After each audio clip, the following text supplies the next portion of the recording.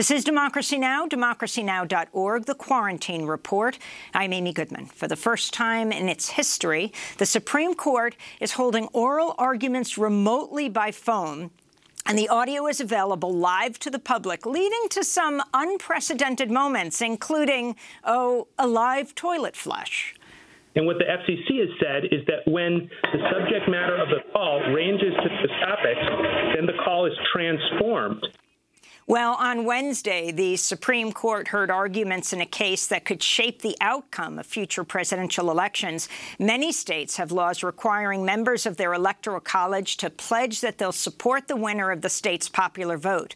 But in 2016, some electors went rogue. One of Colorado's nine electors, Michael Baca, attempted to cast his electoral college ballot for Republican John Kasich instead of Democrat Hillary Clinton. Kasich won Colorado's presidential election over Republican Donald Trump. Then the Colorado Secretary of State at the time, a Republican, removed Baca as an elector.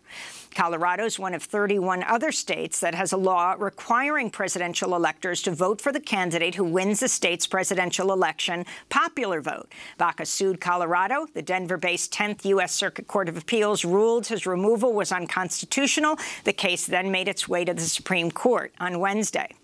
This is Supreme Court Justice Clarence Thomas questioning attorney Jason Harrow, who argued on behalf of the Colorado electors.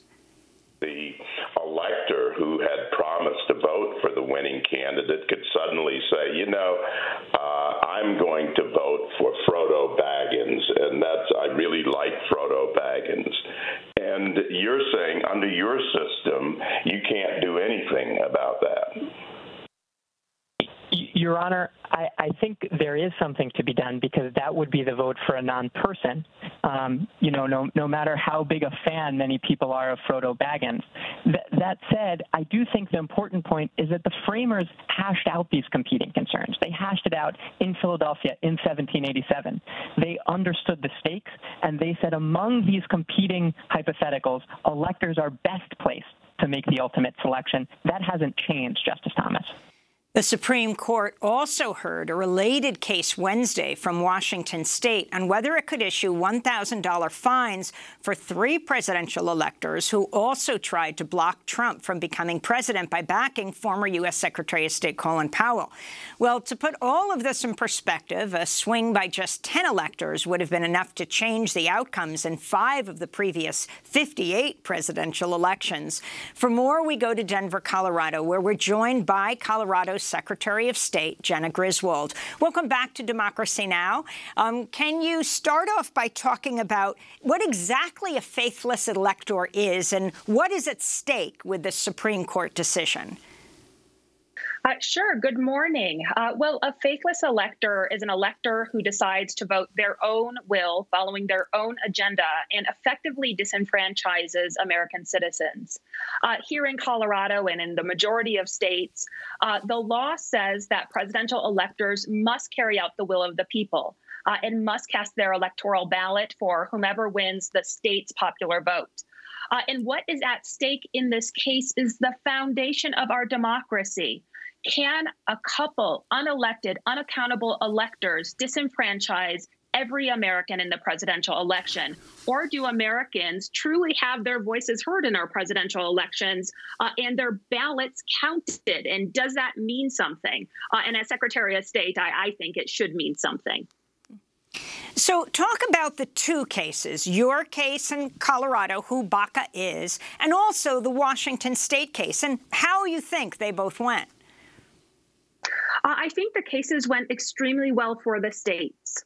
Uh, the Supreme Court really focused on the practical effects of allowing electors to undermine American citizens. Uh, and they really honed in on one of my top concerns, and that's corruption and bribery. Uh, under our current 10th Circuit holding, uh, effectively, uh, as Secretary of State, someone could walk up with a bag of money, hand it to the elector right in front of me, and I would not have the power to remove that elector. Uh, and I would just say that these concerns are amplified, knowing that Russia is trying to undermine our democracy. Uh, the idea of blackmail, we all know how easy it is to do a deepfake video or search information on folks and blackmail them or coerce them to vote how you want them to vote. Uh, so the ability to enforce state law, the ability to ensure that uh, a state's electoral ballot goes for whoever wins the state's actual election uh, is paramount. So I want to go to Chief Justice John Roberts questioning attorney Jason Harrow, who argued on behalf of the Colorado electors Michael Baca, Polly Baca, and Robert Nemanich.